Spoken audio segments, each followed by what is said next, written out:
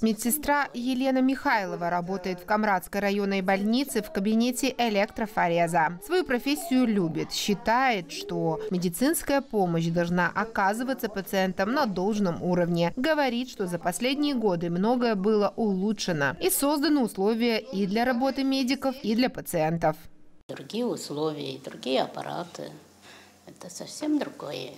Когда я пришла, были пару, э, одни аппаратуры, сейчас другие аппаратуры. Ну, а сейчас и другие заболевания, которые люди сейчас должны реабилитации проходить почти все. Больные, которые в стационаре лежат, они нуждаются в этом. Процедуры электрофореза получают не только пациенты реабилитационного отделения, но и все лечащиеся в стационаре Камрадской больницы по назначению врача, в том числе и дети. О выборе профессии Елена Владимировна не жалеет, считает людей в белых халатах героями нашего времени.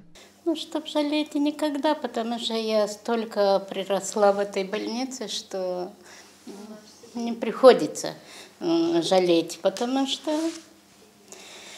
ты понимаешь, что ты нужен больному. И он, когда идет и выходит и говорит, что спасибо, мне а иногда говорит, ага, мне так хорошо, мне так хорошо.